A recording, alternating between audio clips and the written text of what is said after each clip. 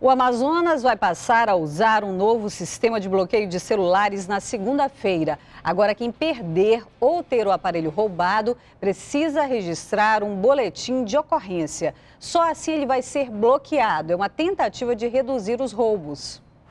Quem perder o celular ou tiver o aparelho furtado ou roubado, a partir desta segunda, vai poder bloquear de uma maneira mais fácil. Em vez de entrar em contato com a operadora, o cliente precisa ir a um distrito integrado de polícia e registrar um boletim de ocorrência. Aí a polícia uh, pega o seu registro, pega os seus dados, porque o responsável pela inabilitação é o proprietário, e encaminha através de um convênio que nós fizemos é, é, com os órgãos que podem fazer isso, e eles vão fazer. Inabilitam o celular, o celular não serve para mais nada. Com esse sistema automático de bloqueio, as autoridades de segurança querem reduzir em 40% o roubo dos celulares, alvos preferidos dos criminosos.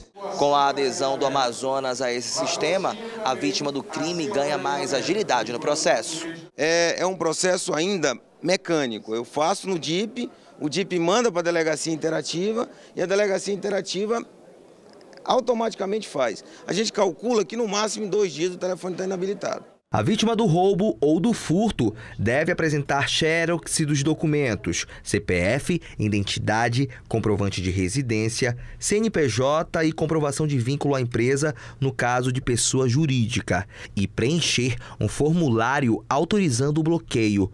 O sistema vai funcionar de segunda a sexta nos 30 DIPs da cidade. E uma revista foi feita hoje no presídio do Praquequara, na zona leste da capital. Cerca de 150 policiais militares participaram. Em uma das celas foram encontradas ferramentas artesanais para escavação de túneis. As revistas vão ficar mais frequentes na unidade, onde quatro presos foram mortos no dia 2 de janeiro. Em Altazes, a situação do presídio é precária. No mesmo prédio funciona o quartel da Polícia Militar. As viaturas estão todas quebradas. Aqui funcionavam cinco celas, mas devido às péssimas condições do local e falta de segurança, muitos presos foram transferidos para Manaus. Hoje, aqui na cidade de Altazes, o policiamento é muito baixo e a criminalidade acredito eu, até o índice de morte está aumentando. Antigamente aqui funcionava uma feira. Hoje funciona como quartel da Polícia Militar e também o presídio de Altazes, que abriga cerca de 14 detentos, a maioria no regime semiaberto. Mas de acordo com informações da própria Polícia Militar, o prédio já chegou a abrigar cerca de 78 presos.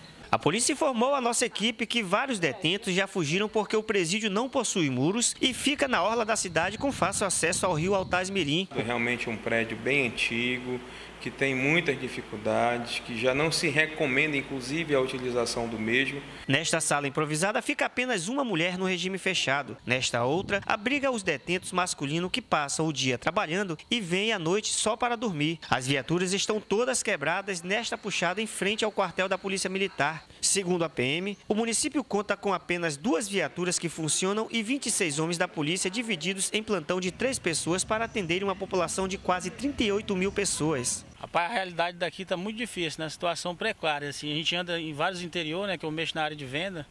E aqui é uma das, das cidades que eu ando assim, que a situação está mais pior de todas, entendeu? A gente fala agora de esporte. Depois de sediar três jogos da Superliga Feminina de Vôlei e bater recorde de público, Manaus vai receber uma partida pelo Novo Basquete Brasil e será um clássico. Flamengo e Vasco se enfrentam no dia 11 de março, às duas horas da tarde, na Arena Amadeu Teixeira. A partida é válida pelo retorno da competição. No primeiro jogo, Vasco venceu por 78 a 77. A seguir, grupo que fazia arrastões na zona norte de Manaus é preso. E na segunda reportagem da série, como conseguir bons resultados na busca por saúde e um corpo perfeito. Já já.